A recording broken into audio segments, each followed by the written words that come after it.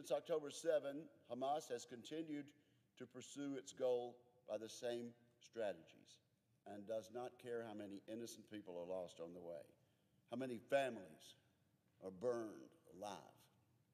Go on. By contrast, Israel has essentially been striving to administer civilian aid Since the start of this conflict on October 7th, reports indicate from human rights organizations and Western media that Israel has intentionally been withholding humanitarian aid. while uprooting terrorists who hide behind those civilians. For decades, human rights organizations and Western media outlets failed to provide any evidence that Hamas is actually using human shields. And even if it were found to be true that Hamas is using human shields in Palestine, the United States still says that Israel has an obligation to protect.